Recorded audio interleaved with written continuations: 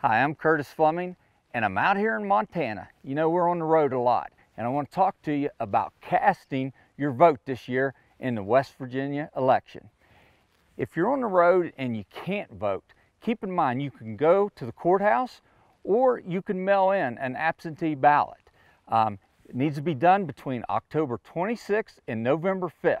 So get out there and cast your vote on November 8th this year.